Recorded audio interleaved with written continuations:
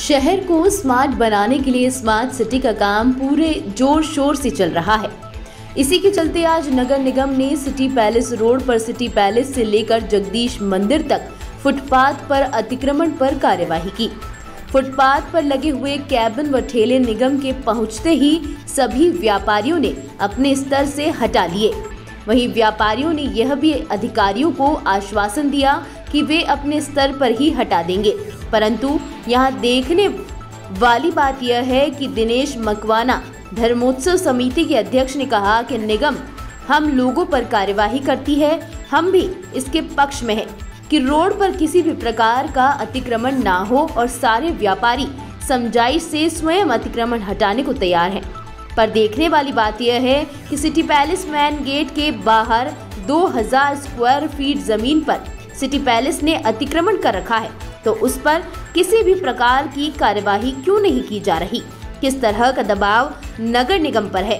कि वह यह अतिक्रमण देखकर भी मौन है, जबकि छोटे व्यापारियों के लिए निगम आक्रोशित अवस्था में आ जाती है और इस विषय पर गोपाल जोशी पार्षद बोले कि निगम की कार्यवाही सही है।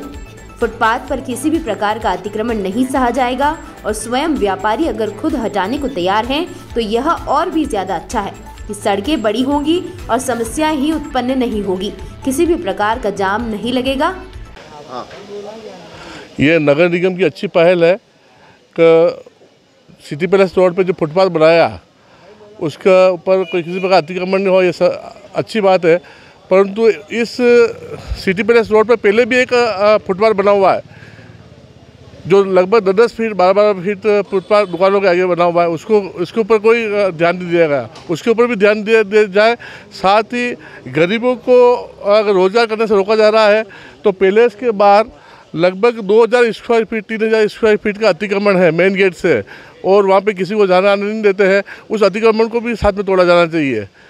उससे क्या हुआ, आम लोगों में लगेगा नहीं, गरीब के साथ नहीं, सबके साथ अन्याय न्याय हो रहा है।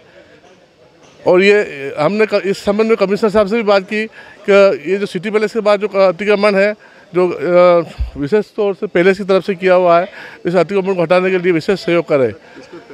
से कभी बात की गई है इस तरह से? नहीं हमारे द्वारा पूर्व में बहुत सी बात बार बात की गई है इसमें। नगर निगम द्वारा नगर निगम को भी बताया कि इस प्रकार से अतिक्रमण इस अतिक्रमण हटाया जाए क्योंकि इससे ये आम जनता के लिए पैलेस के मेन गेट के बाहर जो जगह जगह है पूरी नगर निगम की जगह है रिकॉर्ड में जगह है।